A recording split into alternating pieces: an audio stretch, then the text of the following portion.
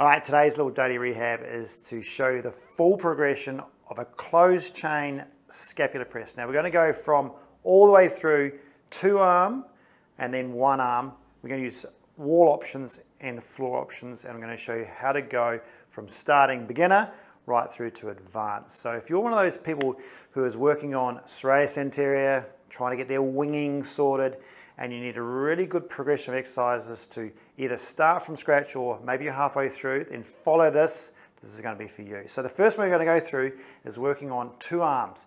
Now the reason why we do this is just to try and get the protraction, retraction movement going. So I always get people on the wall when you do this. Now, best thing to try and do is you don't need a mirrored wall like this. This is great for you to see, but when you're doing it against the wall, it's unloaded really. So it's designed to get you, or a patient who is really Maybe they've got really bad winging, maybe their serratus is really weak, maybe just the awareness is not so good, or maybe they're really stiff. Those sort of people need to start on a wall and always start with two arms so you get the movement right because one arm is so much harder. So two arms to start. When you do this, starting on a wall, have your hands a little bit wider than your shoulders, okay? When you're really tight, to do this against the wall is really hard. On the floor, it's directly under your shoulders, but when you're up against the wall, maybe a little bit wider.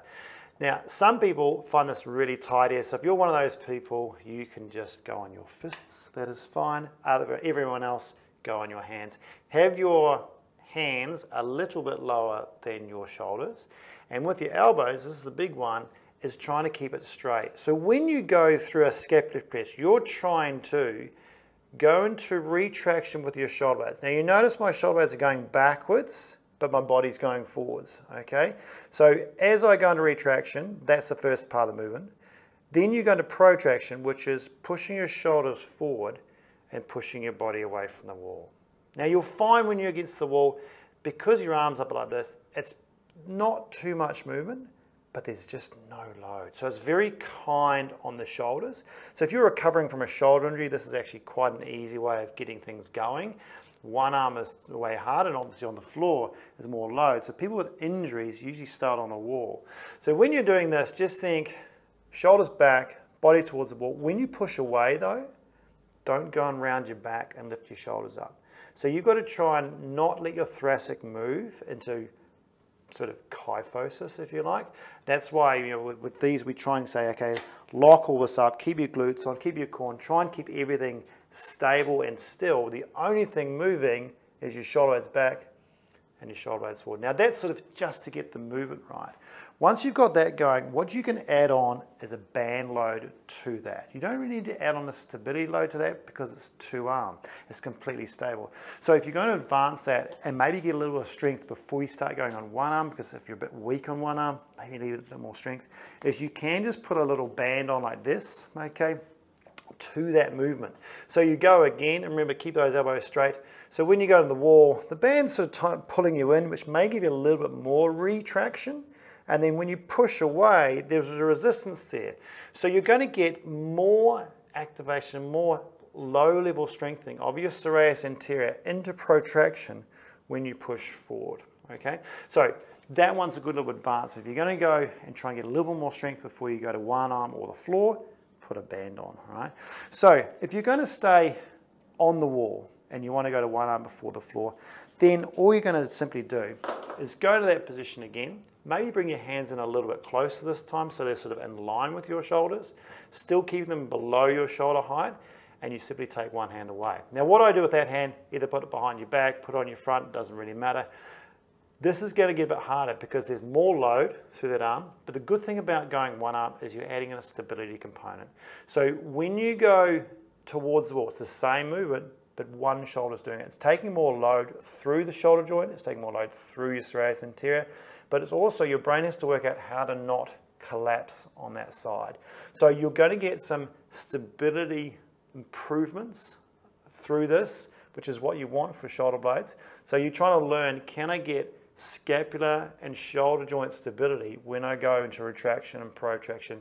The biggest thing is like when you look at your shoulders, when you go forward, don't rotate in. Okay, so keep your body square with the wall. And when you push away, same things, don't round your back, don't lift your shoulder up, keep it down. When you push away, also don't rotate away through that shoulder joint. All right, so that's a really nice option. Now, if you want to go one step further on that, you can then put another band on this as well. Sometimes we put a ball against the wall, so you can go for a stability option first, which we definitely do when you're on the floor because there's always a load on the floor, so you're going to go stability option first. So if you want to be a little bit clever before you put the band on on this, is if you think, I went to one arm for stability, I'm going to make this even harder, so you then put that under your hand. Now that's just a simple Pilates ball. Keep it a little bit soft like that. Put that on the wall, okay? And then make sure you're leaning on that still. Be careful, you don't want to slip off this ball, so make sure that you are confident with that. Same drill towards the wall and then push away. Now what this is doing is making the wall unstable. So it's harder for me to work into this movement and keep myself stable as well as trying to keep the load on. So this will give you a little bit more scapular and rotator cuff, well, shoulder joint stability and a little bit more strengthening as well for this without increasing the load. So one way of you making something more technical, more difficult without increasing any more load through the joint. And this is quite good for people who say have an AC joint problem. They don't want any more load through that AC joint, but they want more stability and control around that joint. These are good options. Once you've done that, you've ticked that box, then you're going to go to the band. All right. So when you do the band, you hit it in two hands. This is going to go into one hand. Now you can use a Thera tubing like this. You can use a TheraBand, wrap it around. Doesn't matter. Just make sure this band isn't too tight. Okay. You've got to be able to still stretch it out to the wall.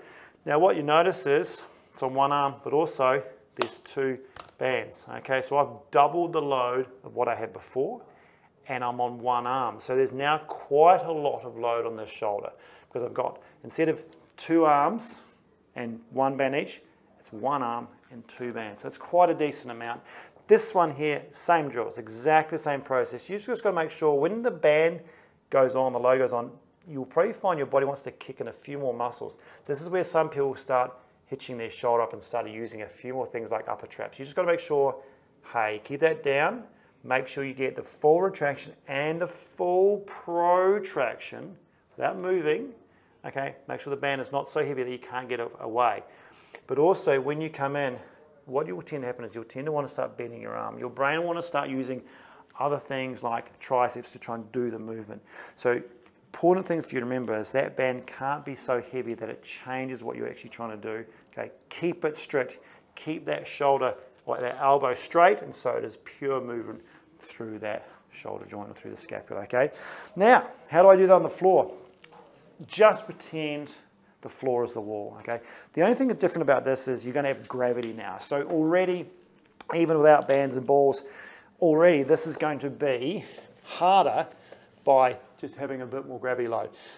The good thing about this though, is pretty easy to do. Don't need too much equipment. You don't even need a wall, just a floor. With this, exact same principles, but like I said, your hands were wider on the wall. Just bring them in a little bit closer now, so you're directly over it. Now, two hands on the floor. The other thing you've got to think about is, what is my back doing? Okay, it was pretty easy to keep my back in a neutral position there. Now that I'm on my knees, people tend to sink their back into extension. So just make sure this back is in neutral, and you really have to make sure your core is on with this. When you drop down to into retraction, that's not so hard. Don't let your head hang. What I like to get people to do is maybe look up a little bit. So when they go into there, they're not going to hinge their head forward. Okay, they, they keep it in a semi-neutral position. When you push away, it's very tempting in this position to start doing a cat. Okay, so don't fall in the trap of doing sort of cat cows, all right? You need to make sure that your thoracic spine is not bending or extending, okay? It's shoulder blade protraction, shoulder blade retraction, okay, without head bobbing forward or thoracic going like that or lower back doing this. Okay, so this is harder, okay? Technically it's a little bit harder, there is more gravity load. So we always do this sort of after, once they've got the technique of what your shoulder is supposed to be doing, because then you've got to start thinking about core, you've got to think about your head, it's looking a little bit more technical. So how do I make that harder with two hands? Band, right? So again, if you're trying to get, uh, you know, if they go to one arm, and it's a bit weak. Okay, well, can I get a bit more strength in two arms before I go to one arm? So then put the band on, same drill, Very simple stuff. Same position. Work on where my position is in my core and work on retraction. And don't go fast with this. All these ones, nice and slow, so you can get the full movement, but also enough time under tension, which is going to help you with your strengthening. Okay, so make it harder. Always think stability over strength. So when I go to one arm, I want to take the same position, take one arm away, and again go through that movement there. Now this is going to get hard. People will sort of will really start rolling through here, and when they push away, they want to roll away. I want you to stay square against the wall. Think about where your chest is, your ribs, that is in line with the floor. So when I drop down, look forward a little bit, keep your core in neutral position, shoulder blade retraction, shoulder blade protraction, okay? Making that harder. Choose the ball over the band, all right? Now this gets a little bit tricky because you're now putting a lot of body weight on. People go, oh my goodness, this is going to get wobbly. Okay, so this is definitely a lot harder than the wall.